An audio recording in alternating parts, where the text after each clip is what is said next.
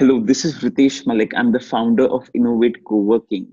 And hello, this is Mridu Bhandari, editor special projects at Network 18. You're catching this special conversation on Moneycontrol in which we talk to newsmakers about business and life in the times of dealing with a global pandemic. Ritesh, thanks very much for joining us today. I want to put the focus very squarely on co-working spaces today, an idea whose time had come in India, an idea that had really picked up very well for the last couple of years but uh, as we all deal with this global pandemic, what's business looking like for you at this point in time? So I, I think definitely uh, no one in their right mind had, had thought about COVID 19 when they were making their annualized operating plans back in December 2019. And, and I think this is an unprecedented global crisis, and, and, and very few businesses is, have been spared by, by, by, by the kind of impact that COVID has got on all of us. But that being said, I, I think these are testing times for co-working and, and, and but at the same time, I believe for us right now as a community, we believe that all of us, be it other competitors, as I believe that all of us at this point in time need to just focus on making sure that we prioritize safety, uh, sanitization, and make sure that the well-being of of all our employees, our, our customers are above any fiduciary decisions that we make. Right, absolutely. Well said on that. Uh, sanitation, hygiene, staying indoors, all of that very important at this point in time. But how does that impact a business like yours that thrives on collaboration? Also in this yeah. time we are all exploring a lot of these virtual collaboration tools which might become the new normal post covid-19 are you worried that the market is going to shrink for co-working spaces? So I believe that this is a very temporary phenomenon, and we are very hopeful that this will be a very a quick uh, V-shaped uh, curve that we will see a massive rebound post post the, the, the maybe post a couple of weeks from the lockdown. The, the reason being that, that I personally believe that work from home cannot be scaled. Work from home is a great addition to a normal working lifestyle. Maybe out of five or six working days, you can work from home or maybe once or twice. But we have seen that work from home is not scalable because people need to, as as human beings, we are very social. We really need to go out, meet other people, and stay away from home to build our skills and meet other people. So I believe that this is a very temporary phenomenon. Unnecessary redundant travel, unnecessary redundant meetings would be cut short because we've seen that productivity has not hit to the tune that it should have.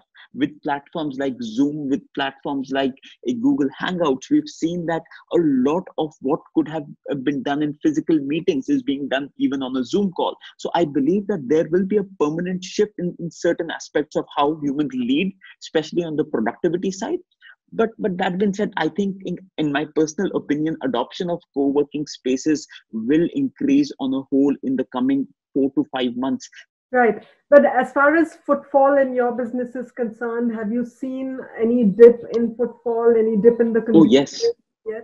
So so this is a this is a phase of of, of massive insecurity. You can call this is a, a, mass scale hysteria. People have not been able to come out of the fact that, and, and, it, and it's not only the, the, the, the, employees, it's the fact that their families do not want them to be on to, to be in offices. And, and that's very well understood.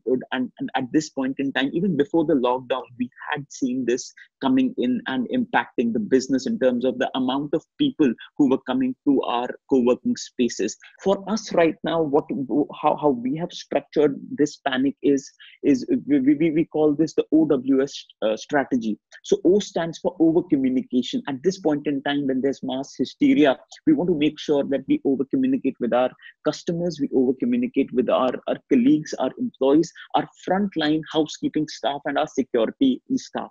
We believe that the more we communicate the more uh, they, they, they feel safe about their jobs they, they, they feel safe about their their offices. The moment the lockdown goes down they should feel safe about the fact that they will have a business continuity with us. Is there a change in subscription plans that you're offering to consumers? A lot of them might not want annual plans or say even quarterly yeah. plans at this point in time and might want a more flexible pay as you go sort of offering. So has there been a change conscious change towards that so so so so when it comes to uh, us the, the the only silver lining in all of this is the fact that we have a lot of enterprise customers who have a lot of uh, deep pocketed cash uh, cash reserves. A lot of large companies work out of our co-working spaces. And and and and, and because we sign in uh, longer term leases with them we haven't seen a lot of impact on our, our uh, recurring uh, on, on the fact that not a lot of these large enterprise customers has, have given us us notices but at the same time in uh, we, we empathize with, with with early stage entrepreneurs and freelancers and we understand the fact that they a uh, they, they they will be they, they, they, they would need to renegotiate their contracts. And and and and case by case we are are understanding the impact on the business. We have not been able to come to a conclusion so far but i believe that at, until the lockdown it will be very difficult to actually understand what sort of of impact it has done to the to, to, to the business. But as as as far as it is concerned for now i, I think we are we, we're doing okay.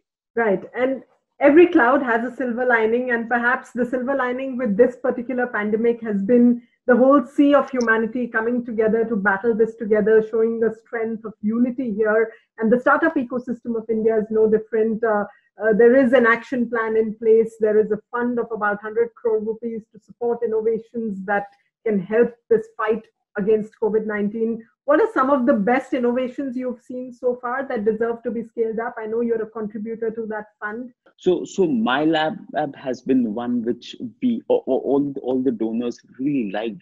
And we are also talking to a lot of different uh, entrepreneurs who have built amazing uh, uh, platforms to to help fight covid.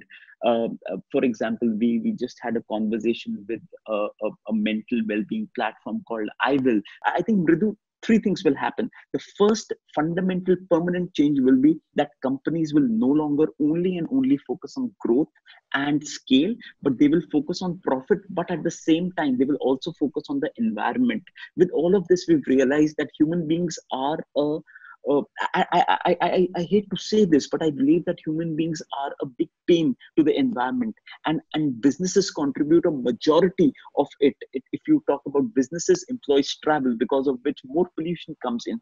I, I think environment will be a, permanent shift in people's mind. Second would be uh, mental well-being. With all of this happening people have, have had a sense of insecurity in their lifetimes. I, I think the last large scale pandemic that struck us was in 19 in 18 that was the spanish flu. Before that it was the cholera again 100 years uh, 200 years back.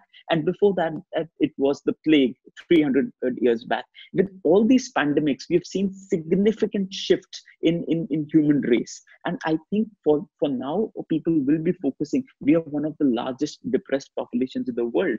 And i think mental well-being will become spending more time with their families we will will become an important attribute to people's success. So so i think think in this this particular crisis will leave a lot of positive on on human race. As a qualified doctor i know that you're a very positive person but uh, through this whole lockdown and stay at home phase what are some of the things that you've discovered about yourself and about running business from home? So uh, a couple of things. One i believe that at um, uh, I do not need to be that busy. Uh, I do not do so much of work that, that, that takes my time. And I realize that with this lockdown, um, if I plan things well, I can really save a lot of time. In uh, secondly, I believe that uh, with this lockdown, I've realized the importance of family. By the end of the day, uh, good friends and amazing family is all what that matters. Absolutely, that's true uh, for sure. Well, thank you so much, Ritesh, for joining us on this very special webcast and podcast series. And uh, here's hoping all of us come out safe on the other side of yes. the pandemic.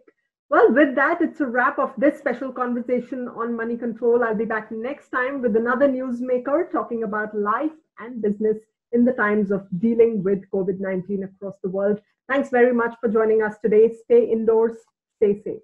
Bye bye.